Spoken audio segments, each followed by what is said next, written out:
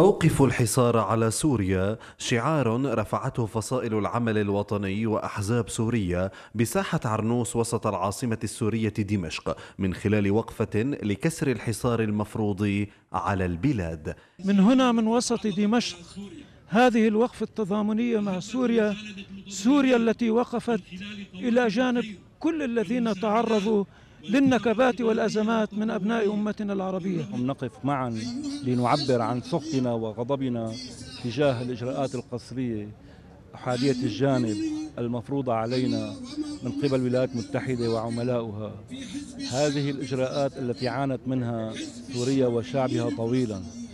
وهذه الإجراءات التي لا تمت بصلة للإنسانية والعدالة. كلمات عديدة أكد فيها الحاضرون على ضرورة وقف الحصار المفروض على سوريا خاصة بعد الكارثة الإنسانية والزلزال الذي ضرب البلاد وخلف الكثير من المأساة. نحن كشعب فلسطيني دائما نحب للدفاع والتضامن والوقوف إلى جانب سوريا. أننا اليوم نقف وقفة تضامنية مع الأخوة وأشقائنا في الجمهورية العربية السورية لنقول كفى فك الحصار عن سوريا. سوريا التي وقفت إلى جانب القضية الفلسطينية منذ انطلاقة ثورتنا الفلسطينية المعاصرة حتى هذه اللحظة. نحن في وقفة تضامن مع سوريا لفك الحصار عن سوريا وهي التي ساندت ودعمت القضية الفلسطينية منذ بداية النكبة.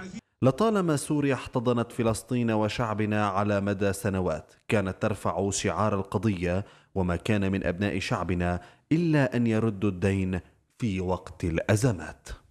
وقفة فلسطينية سورية ترفع شعارات عديدة أهمها كسر الحصار عن سوريا. سوريا التي تعاني أكثر من عقد من الحرب والحرب الاقتصادية التي تفرض عليها نتيجة الحصار المفروض.